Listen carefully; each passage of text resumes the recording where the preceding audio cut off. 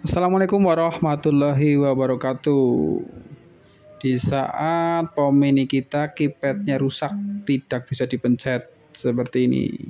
Ada beberapa keypad yang bisa dipencet, ada keypad yang tidak bisa dipencet.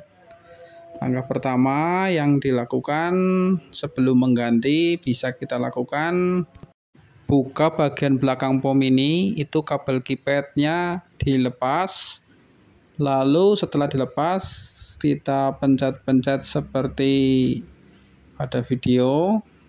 Kemudian kita masukkan lagi.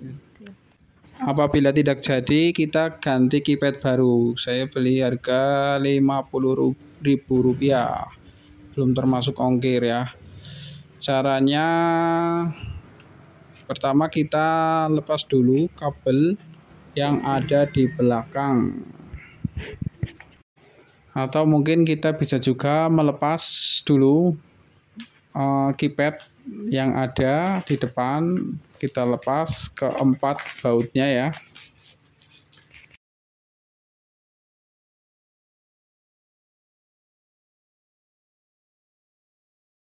Setelah baut dilepas ini ternyata ada lemnya ya. Jadi kita kita lepaskan dari lemnya.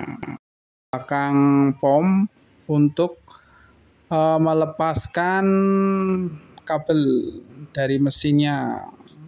Soalnya kalau nggak dilepas dulu nanti bisa tertarik.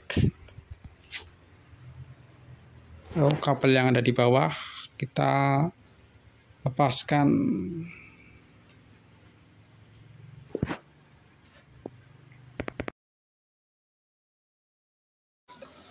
Lalu perekatnya kita lepaskan dan di belakang itu ada lubang ya. Lubang yang tembus ke belakang kita ambil kabelnya yang udah kita lepas terlebih dahulu tadi. Nah setelah terambil kita kupas lagi ya keypadnya. Jadi keypad yang baru pun di belakangnya itu sudah ada lemnya ya Nah, nah ini dari lubang ini nanti kita paskan saja disesuaikan dengan keypad yang udah lama. Ini keypad yang baru kita beli harga 50.000 belum termasuk ongkir. Saya beli di Bandung ongkirnya 19.000. Nah. Cara pemasangannya kita masukkan dulu ke papan papan yang tempat keypad itu ditempelkan ya. Terlebih dulu kita buka dulu ah, lapisan belakangnya. Di situ ada lem. Jadi harus pelan-pelan hati-hati ya itu karena soketnya sensitif apa kabelnya sensitif. Kita masukkan lalu kita paskan dengan bekas stiker bekas yang sudah ada. Jadi nanti sesuai ya.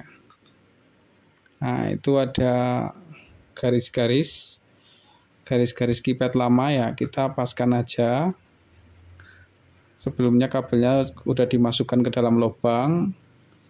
Lalu kabelnya kita rekatkan. Lalu kabelnya kita masukkan ke lubang yang ada di bawah. Nah, setelah sudah dimasukkan lalu paskan ya dipaskan lubang-lubang baut mur dipaskan sesuai lubang yang tadi kanan kiri atas bawah. Setelah itu kita kencangkan.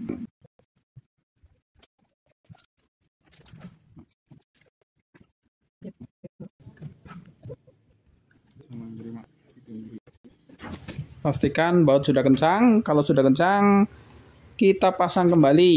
Ya kabel yang belakang seperti semula